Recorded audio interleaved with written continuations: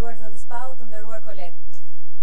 Në fakt, dëgjova kolegët që folën edhe zonjën Kushi, megjithëse duhet kisha folur para rreth 3 ose 4 orësh, ë në lidhje me ë indeksin e perceptimit të të korrupsionit. Sigurisht që vlerësohet çdo arritje, nëse konsiderohet arritje, vlerësohet njëkohësisht Çdo përmirësim, në qoftë se konsiderohet përmirësim, por Shqipëria është përsëri po aty, e fundit mes gjithë vendeve kandidate për anëtare në Bashkimin Evropian.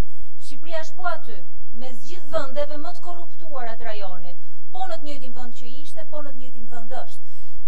Më vjen mirë që, që i lexojmë këto raporte, besoj që duhet të kishim lexuar që të gjithë edhe raporte më serioze, në fakt propaganda e opozitës nuk është aq bajate sa ç'është propaganda e Ekonomistit. të paktën përpiqet që të flasi me fjalë pak më të thjeshta se ç'flet propaganda e qeverisë tek Ekonomisti. Raporti i Bankës së Shqipërisë: Gjendja ekonomike e përkeqësuar gjatë tremujorit aktual, balanca përkatëse shënoi një rënie me 1.5% pikë, bizneset që operojnë në sektorin e industrisë kanë vlerësuar një përkeqësim në aktivitetin ekonomik, papunësia arrin në 17.5%, rritje nga një tremujor më parë, papunësia e të rinjve e frikshme, 32.3 për qind. Kreditimi i bizneseve ulet përsëri me minus 0.3 për qind dhe krahasuar me nëntor të 2014 është minus 2.2 për qind. Eksportet, të dhënat e fundit që sapo u publikuan nga Instati e mbyllën vitin 2015 me minus 4.9 për qind, 223 miliard lek është e dhëna e fundit e Instatit që tregon vlerën më të ulët që kanë pas ndonjëherë eksportet që nga 2009 e në këtë vit. Dhe sigurisht që kjo tregon arritjet e mdhaja, arritjet e mdhaja që kjo qeveri ka në fushën e tatimeve, doganave, të rritjes ekonomike, të punësimit e kështu me radhë. Po sigurisht që ka dhe një lajm të mirë. Lajmi i mirë lidhet që më së fundi dhe Ministri i Financave është ndërgjegjësuar për korrupsionin me përmasa historike të drejtorisë së doganave. Ky është një hap i vogël për problemin, por jam e bindur që është një hap shumë i madh për qeverinë, e cila më në fund ka filluar që të zbresë me këmbë në tokë dhe mos të jetojë vetëm atje ke portali transparenca.al. Gjithsesi, gjithë këtë mund të ministrit e zhbën propozimi i fundit që kemi dëgjuar për koncesionimin e TVSH-së, që është i çuditshëm jo vetëm për çdo lloj qeverie, po më së shumti për një qeveri që hiqet si e majtë, që hiqet them sepse në fakt asgjë që kanë bërë këto nuk ka lidhje as me solidaritetin dhe as me bindjet. Propozimi i cili siç u mësua nga konferenca e fundit e ministrit dhe zëvendësministres ka ardhur nga një kompani nga Hong Kongu, e cila ofrohet me një kërkesë të pakërkuar menjëherë sapo kryeministri kish qenë atje, menjëherë sapo drejtoria e tatimeve ka bërë dhe një investim për serverat e tyre prej nëntë pikë dy milion eurosh. Tani, se si mundet që të koncesionohet një shërbim që mund të ofrohet shumë mirë nga shteti, këtë e di vetëm Ministria e Financave. koncesionistëve. Gjithsecili prej nesh që jemi në këtë sallë dhe që kemi votuar ligjin e koncesioneve të vitit 2015, 123-shin, në fakt e dim se nuk është se ekziston një diferencë shumë e madhe, e quajmë koncesion apo e quajmë partneritet publik privat. Çfarëdolloj emri që t'i vëmë, çfarëdolloj përpjekje që të bëjmë, ajo është një shërbim publik që është themelor si administrimi fiskal që do realizohet nga një privat në emër të shtetit. Përpjekja për t'u marrë që të shpie një emër, më duket si një përpjekje për t'u marrë me mustaqet e Çelos, sesa me thelbin e debatit, i cili është dorëzimi i një detyrimi kushtetues, pa asnjë të drejtë dhe pa asnjë shembull tjetër të ngjashëm në rajon apo më gjerë, një kompanie e cila nuk ka asnjë eksperiencë dhe theksoj asnjë eksperiencë tjetër të ngjashme me këtë. Por sikur mos mjaftonte kjo, Ministria e Financave ka ngritur një grup ekspertësh të cilët e kanë quajtur këtë koncesion apo PPP, siç keni qejf ta quani ju së fundmi, si antikushtetues dhe si aspak fitimprurës për shtetin shqiptar, duke e bërë edhe më të dyshimtë këmbguljen e kryeministrit, oborrtarëve të tij, të ministrit, zëvendësministrave, për të vazhduar me të. E për më tepër nuk janë lodhur as të bëjnë llogaritë minimale, sepse raportet që janë servirur së fundmi nga media tregojnë që specialistët e Ministrisë së Financave kanë marrë për të mirëqena llogaritë e koncesionarit. Arbitrariteti i kësaj marrëveshje vazhdon edhe kur njihesh me kushtet e saj, të cilat në mënyrë të dukshme favorizojnë kompaninë koncesionare. Qeveria pretendon se në qoftë se kompania do të arrisë performancë nga njëmbëdhjetë në pesëmbëdhjetë për qind, kjo do të fitojë nëntëdhjetë për qind të rritjes ndërkohë që shteti merr vetëm dhjetë për qind. Pra për çdo dhjetë lekë që paguajmë ne si konsumatorë në TVSH, një lek shkon për shkolla, kopshte, çerdhe, rrugë, nëntë lekë i merr merr koncesionari. Pastaj pazari i qeverisë vazhdon akoma dhe më tej, duke i dhënë koncesionarit vlerën 65 për qind të taksës së rritur nga 11 nga 15 në 17 për qind e kështu me radhë. Tani duke supozuar që të gjithë në këtë sallë mund ta bëjmë një matematikë të thjeshtë, besoj se është e kuptueshme që këto terma janë jashtëzakonisht favorizuese për koncesionarin. Përqindjet aty janë, nuk kanë as pse gënjehen nga ato që thotë opozita dhe nuk kanë as pse të besojnë ato që themi ne. Llogaritë janë shumë të thjeshta. Mund të ketë edhe nga deputetët dhe ministrat që mund të argumentojnë se buxheti i shtetit ka nevojë të mbushet. Dikush tjetër mund të argumentojë se qeveria ka dështuar në mbledhjen e të ardhurave për dy vite rresht, madje vitin që u mbyll, duke qenë se patëm edhe një rënie reale ekonomike me minus 1.6%, realisht kemi mbledhur minus 19.7 miliard lek më pak edhe krahasuar me veten e tyre, meqenëse me ne nuk kanë qejf të krahasohen. Këto janë gjitha shifra të sakta dhe artikulojnë qartë një problem që ne kemi ngritur me kohë dhe unë absolutisht nuk ndjej asnjë kënaqësi të them që sot rezulton i vërtetë. Sado që shifrat dëshmojnë më së paku dështimin e qeverisë, ato janë po ashtu një argument më pak për koncesionimin e TVSH-së. Nga të dhënat që ofron Ministria e Financave shohim se TVSH-ja e brendshme vetë në normë natyrale është rritur mbi 10%. Shqipërinë. Kështu thotë dhe ministria në fakt, që kjo është mesatarja e viteve të kaluara. Atëherë pse duhet t'ia japim një koncesionari atë që vetë të ardhurat e shtetit e kanë realizuar gjatë këtyre viteve të fundit? Kështu koncesionari i cili do të paguhet nga qeveria për të ndërtuar programin do ta ketë jashtëzakonisht lehtë që të kalojë pragun. Le të parashikojmë se në vitin aktual do të mblidhen pothuajse 248 milionë euro, pak a shumë me një normë rritjeje aq sa janë rritur dy vitet e të fundit. Vlera që do të marrë koncesionari është 6.74 milion euro, ndërkohë që qeveria 750.000 euro, pa bërë asgjë, thjesht duke përdorur administratën aktuale, thjesht duke përdorur mundësitë aktuale që ka tregu shqiptar, do të marrë rreth 7 milion euro vitin e parë. Kështu pas 10 vitesh, ku sipas llogarive të po vetë qeverisë, të ardhurat në buxhet do të rriten falë koncesionarit me 620 milion euro, ne do t'i paguajmë atij njëqind e tridhjetë e tre milionë euro, ndërkohë që buxheti i shtetit vetëm katërmbëdhjetë milionë euro. Po pse duhet ta koncesionojmë atëherë? Kur në buxhetin e shtetit përfitohen më pak të ardhura nëse nuk do të ishte ky koncesionar? Sigurisht që qeveria nesër këtu mund të vijë edhe me një ofertë tjetër për të propozuar apo mund edhe të ndryshojë kushtet e kontratës. Pse duhet të bindemi ne që duhet ta japim një nga shërbimet bazë që ka administrata fiskale me koncesion? Madje, përpjekja qeveritare për të dhënë një koncesion afatgjatë 10 vjeçar është tërësisht i padrejtë, duke qenë se është edhe përtej mandatit të saj qeverisës. Prandaj kërkon minimalisht, siç keni filluar të keni qejf së fundmi, ose të bëjmë një referendum edhe për këtë, ose nga ana tjetër ta votojmë me dy tretat në parlament. Kjo për sa i takon minimales, sepse në vetvete është antikushtetues dhe bie ndesh dhe prek tre ligje që lidhen me administrimin fiskal të vendit me koncesionet dhe partneritetin publik-privat. Sigurisht që të gjithë mund të dyshojmë dhe që të gjithë mund të kemi pikëpyetjet tona. Pse po ndodh kjo tani? Pse na erdhi pikërisht kjo ofertë tani? mos duhet të mendojmë ndoshta që administrata tatimore, administrata doganore kanë filluar që të kenë performancë shumë të ulët që të fillojmë një nga një t'i koncesionojmë gjitha taksat, gjitha akcizat, gjitha tatimet, mos ndoshta do të ndodhemi vitin tjetër ku gjithë Ministria e Financave do të jetë e pamundur që ta ushtrojë funksionin e saj? Të nderuar kolegë, për rreth 2 vjet ne kemi debatuar nga kjo sallë shqetësimin tonë që kemi pasur për rënien e të ardhurave në tatime dhe në dogana.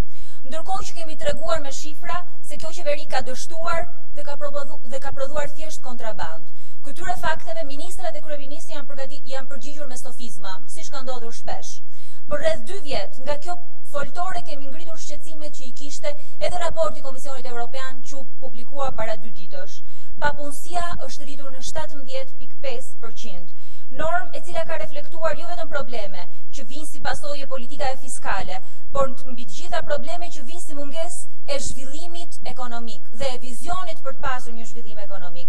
Bujqësia ka pasur 3.5% më pak vende pune se ç'kishte një vit më parë dhe besoj që këto duhet të jenë shqetësuese për këdo. Ky vizion i mangët për zhvillimin ekonomik vihet re edhe në raport me investimet e huaja, 10% më pak në tremujorin e tretë.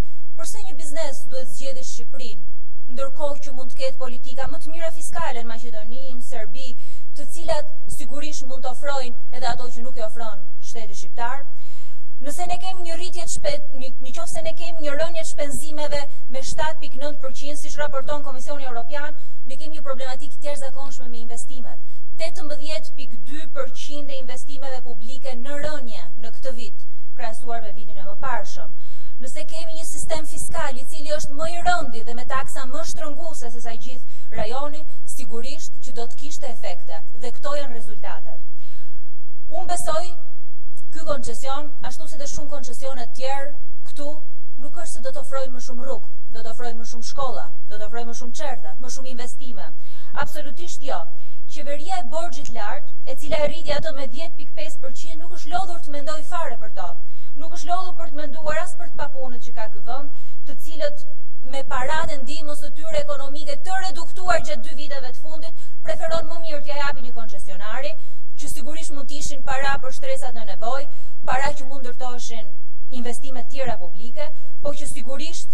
nuk ka vënd për të gjithë në buxhetin e shtetit, ka të preferuar.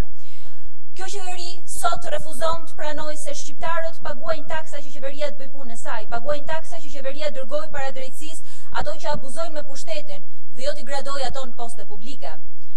Ne paguam 8.2 milion euro nga Crown Agent për të rritur të ardhurat me 100 milion dollarë. Ku jemi sot?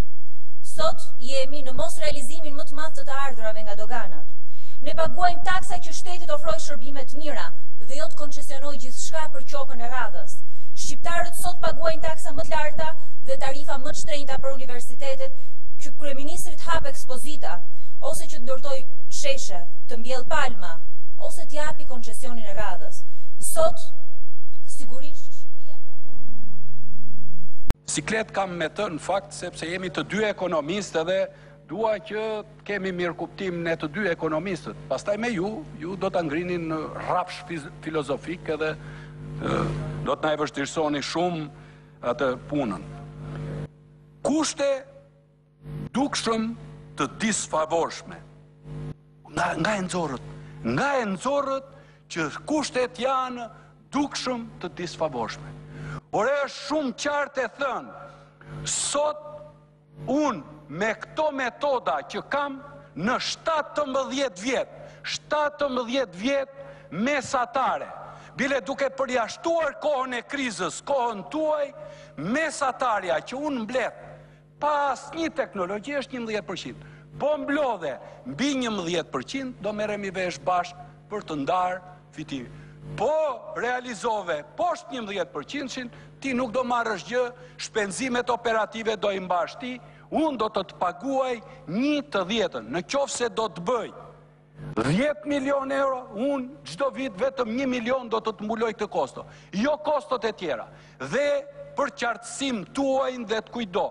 Ore, këto akoma nuk kanë shkuar në tender, po kur të shkojë puna në tender, ne themi Deri është kostoja, deri këtu pranohet. Kush do të ofrojë 9, 8, 7, 6, 5, do dalë fitues. Ne themi kush do t'japi më pak, kuptohet që do dalë fitues.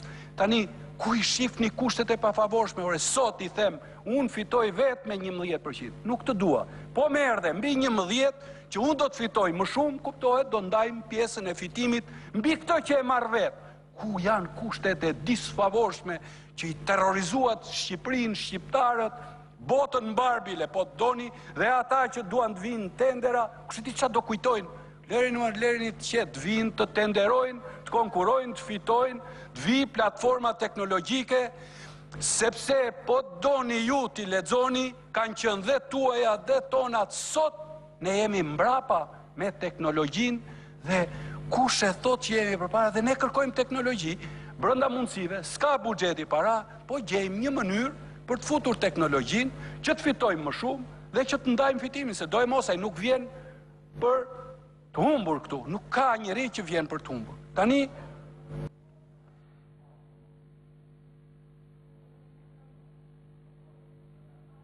Një partneritet publik privat jashtë një mandati qeverisës. Po mirë nuk doni të lexoni ligjin, nuk doni të shifni praktikat tuaja, se s'keni qenë në qeveri, po pyesni kolegët tuaj, nuk doni të shifni praktikat ndërkombëtare, është tej një mandati Partneriteti publik privat si rregull është tej një mandati. E dini që keni dhënë dhe 30 vjeçar? E dini sa është hidrocentrali? Meqë doni t'i përzjejmë koncensionin me partneritetin publik privat, që ju nuk e dini që kanë diferencë, po po jua them unë që kanë diferencë. Po meqë ju nuk e dini, meqë ju nuk doni, atëherë po e lëmë siç doni ju koncesion. Po nuk dini ça koncesionesh jepni, si mund të jepet hidrocentral për 3 vite? Po 3 vite ai s'ndërtohet. Çar, nga i nxirrni këto teori? Nga nga nga doni ta çorodisni gjithë kët milet kot fare. Fare fare i hyni ca gjërave që në vend që të merreni me thelbësoren a është eficiente, a është sistemi që duhet apo jo, ju merreni me ca gjëra që nuk i hyjnë në punë kujt. Domethënë, hajde ti, investo, 10 milion, 100 milion, 3 vjet ke afat. Po 3 vjet nuk e vë dot. Cila rrugë mund të bëhet për 3 vite? Do do paguajmë dhe do dalim me humbje si qeveri. Tani unë m'u duk se e shpjegova dhe nuk arrij dot ta kuptoj ku doli me humbje qeveria. Ne edhe njëherë kemi bërë nga grupi teknik një mesatare shtatëmbëdhjetë vite sa kemi mbledhur TVSH. Dhe themi njëmbëdhjetë i mbledhim vetë. Po deshe të vish, i themi kujtdo, se është tender i hapur ndërkombëtar, po deshe të vish, po realizove mbi njëmbëdhjetë, do të shlyesh kostot e tua, investimin tënd, do të ndajmë dhe fitimin. Ku është humbja për qeverinë këtu? Se i themi po dole më poshtë, Merrti, se as koston do të ta marrim, do të të paguajmë çdo vit një të dhjetën e investimit pa interes bile. E dini që se ju e dini, jo a e dini më fal, ju po po, tashi është më tepër për publik. Ore në 6-7 vite dyfishohet vlera se duhet të ishte kthyer ajo, ne i themi jo jo, do të jap vetëm aq sa do të investosh. Ku është humbja? Në fund merr sistemi, sistemi ngelet yti. Merri një praktikë pune, është jotja. E ku është humbja këtu? Unë nuk e kuptoj ku e shifni. Por tani në rregull ju gjithnjë shiko që të jemi të sinqertë se ndoshta duhet ta mbyll këtu se nuk ja vlen t'jua jap përgjigje për çdo gjë. Ore, a, a e shifni, a pse bëheni gojëhidhur dhe keqdashës? Po deri në ekstrem. Po thoni o njëherë Lutjuni, lutjuni perëndisë një ditë, një minutë, një sekondë, thoni ishalla del me fitim, del me sukses, që të marrë edhe ai, edhe ai, kushdo qoftë, biznes, sepse jeni, jeni të djathtë pro biznes, kushdo. Qoftë shqiptar apo i huaj, të marrë dhe ai fitim, na japë dhe ne fitimin. Po gojëprishur, po keqdashës, deri në themel. Ka për dalë keq, do dali keq, të dali keq, do dali me humbje, mjerë ne, shi, përmbytje, furtunë, po hiç asgjë, asnjë gjë, do sjellë një, një platformë teknologjike të re, ku ne në rastin më ekstrem, më ekstrem, Ne do t'i paguajmë një, një të dhjetën çdo vit. Kaq, kaq.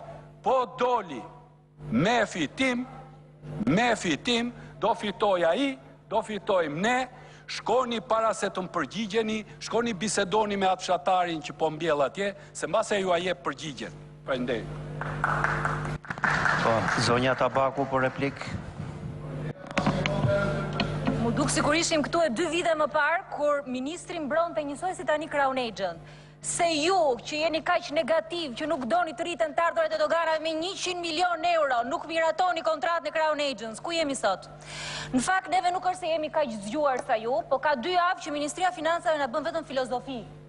Ndryshe nga neve që kemi thënë dhe dy tre shifra, se kaq sa dimë i themi dhe ne. Për atë fshatarin që punon tek fusha, dhe së dyti, se harrova të them, ministri që ka qenë kundërshtari më i egër i kësaj, sot më vjen mirë që është mbushur mendja dhe vetë, po ka një detyrë të vështirë Ministria e Financave që t'ju mbushi mendjen dhe juve si deputetë se neve e di që s'ka për të na e mbushur. Ai fshatari që punon tek fusha, në qoftë se dëgjon këtë që tha ministri, Që rritet vetë TVSH-ja, tha njëmbëdhjetë për qind. Në qoftë se ne do të marrim koncesionarin, edhe rritja vetë e TVSH-së me njëmbëdhjetë për qind, pa bërë asgjë, shteti do të merrte shtesë njëzet e shtatë milionë euro. Jo, do ia japin njëzet e katër koncesionarit, do marrin vetë dy pikë gjashtë e shtatë. Këtu është humbja. Në qoftë se ne do paguajmë gjithë TVSH-në, për dhjetë lekë, nëntë do t'i marrë ai, një do shkojë për shkolla, kopshte, çerdhe. Këtu është humbja. Në qoftë se rritet dymbëdhjetë për qind, koncesionari merr tridhjetë e tetë milionë, shteti merr tre pikë pesë milionë. Këtu është humbja. Kështu që, meqënëse keni dëshirë që të merreni me shifra, merruni dhe me këto shifra. Nuk na keni thënë, meqënëse keni një vit që e studioni këto, kush janë llogaritë tuaja fundja? Se ne kështu jemi, gojë prishur, vjellim vrerë, budallenj, nuk marrim vesh, po të gjitha ato që kemi thënë ne të paktën për ministrinë tënde kanë dalë të vërteta. Faleminderit zonja Tabaku.